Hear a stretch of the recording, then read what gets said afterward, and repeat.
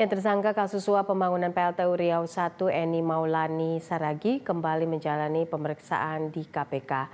Eni mengaku dicecar penyidik KPK soal beberapa pertemuan, salah satunya adalah pertemuan bersama Dirut PLN Sofian Basir dan juga pemegang saham Black Gold Natural Resources Johannes Koco. Dalam pemeriksaan sebelumnya, Eni Saragi membantah pertemuan bersama Sofian Basir dan Johannes Koco.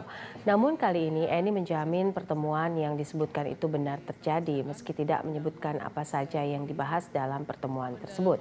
Sementara itu Eni berencana akan mengajukan diri sebagai justice kolaborator untuk kasus tersebut dan berkomitmen akan bersikap kooperatif.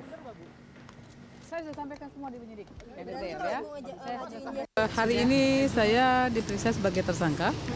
Materi pemeriksaan itu pendalaman dari pendalaman dari apa eh, pertemuan-pertemuan antara saya dengan Pak Sofian Basir dengan Pak Yohanes Koco. Di pertemuan itu memang ada. Bu?